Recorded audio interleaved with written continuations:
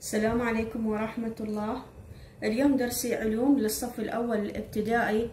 راح نكمل وياكم آه، وصلنا الوحدة الثانية صفحة أربعة وخمسين تركيب أجسام الكائنات الحية. ناخذ الفصل يعني هو بالوحدة الثانية بالفصل الثالث والفصل الرابع.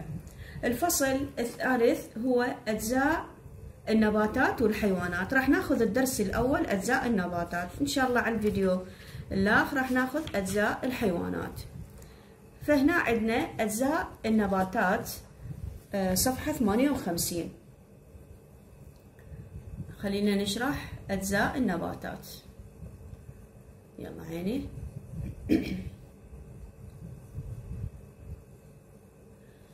صفحة 58 اقرأ وأتعلم الفكرة الرئيسة.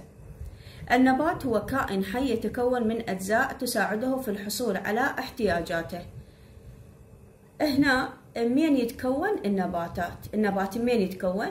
يحفظ الطالب يقول له يقول للمعلم النبات وهو كائن حي يتكون من أجزاء رئيسية هي الجذر والساق والأوراق.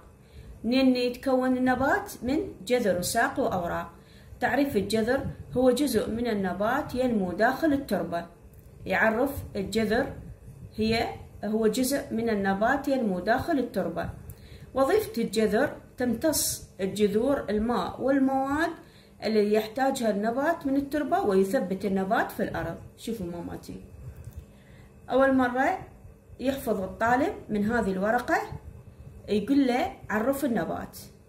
يقول له عرف النبات. شو يقول له الطالب؟ هو كائن حي.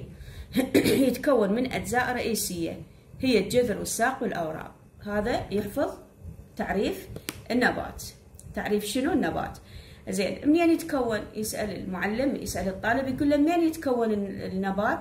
تقول له من الجذر وساق وأوراق هاي الفقرة خلصنا من عندها. تعريف الجذر عرف لي وشنو فائدته؟ شنو وظيفة الجذر؟ الجذر هو جزء من النبات ينمو داخل التربة. زين شنو وظيفته؟ عندي نقطتين وظيفته. اولا تمتص الجذور الماء والمواد التي يحتاج إليها النبات من التربة وتثبت النبات في الأرض. يأكل الإنسان جذور بعض النباتات كالجزر والفجل والشلغم. شوف هذا الجزر وهذا الفجل وهذا الشلغم. يعني أكو جذور يأكلها الإنسان آه، مثل الجزر والفجل والشلغم. هذا عرفنا وعرفنا الجذر تعريفه وشنو؟ وظيفته ومثل إيش؟ هذا يحفظ الطالب. زين نجي على الساق. الساق صفحة تسعة وخمسين. الساق صفحة تسعة وخمسين. الساق تعريف الساق. هو جزء من النبات ينمو فوق سطح التربة. إحنا قلنا الجذر ينمو داخل التربة يعني تحت التربة. الجذر لكن هذا الساق هو ينمو فوق سطح التربة. شو يحمل؟ يحمل الأوراق. يحمل الأوراق. هذا الساق. زين. ينقل الماء. شنو وظيفته؟ ينقل الماء من الجذور إلى أوراق النبات. عرف الساق. هو جزء من النبات. ينمو فوق سطح التربة. يحمل الأوراق. شنو وظيفة الساق؟ ينقل الماء من الجذور إلى أوراق النباتات. شو يأكل الإنسان؟ سيقان. بعض النباتات مثل البطاطا وقصب السكر. خلصنا من الساق نجي على الورقة. الورقة هذه البطاطا.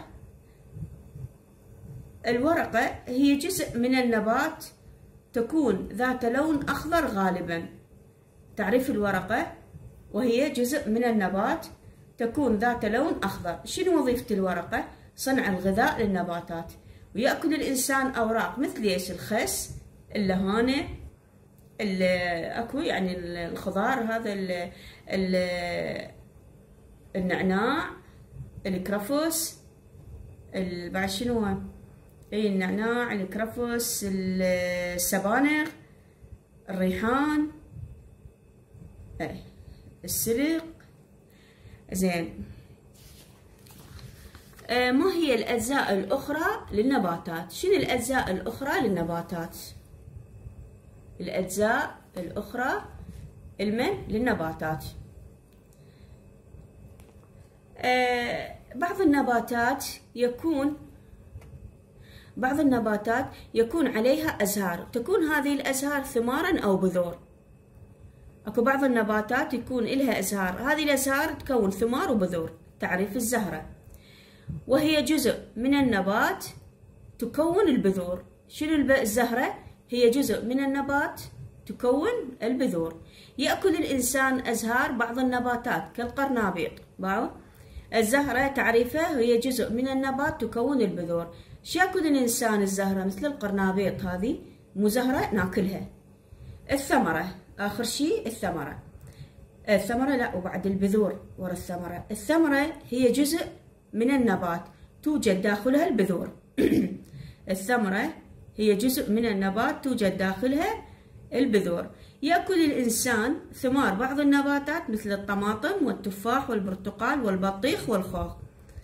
هذا شوف هسه هاي البطيخة يأكل الإنسان ثمار بعض النباتات بها ثمار. نجي على البذرة. هي جزء من النبات عند زراعتها تنمو وتكون نبات جديدا. تتكون البذور من أزهار النباتات. يأكل الإنسان بذور بذور بعض النباتات كالقمح والذرة والرز هذه الذرة والقمح. إذا شنو هاي بذور ناكلها. يأكل الإنسان بذور بعض النباتات. إذا تعريفه هي جزء من النبات عند زراعتها تنمو وتكون نبات جديدا آه نجي على صفحة واحد وستين. صفحة واحد وستين.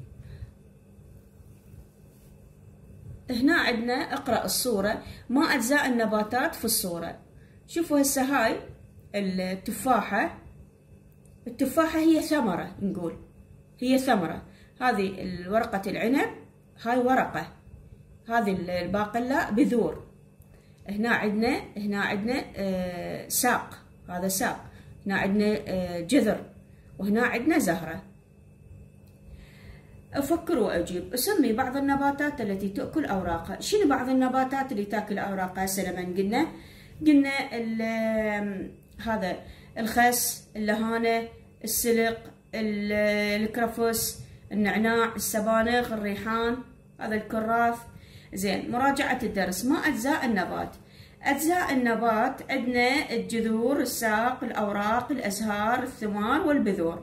ما وظيفة الساق في النباتات وظيفتها ينقل الماء من الجذر إلى الأوراق.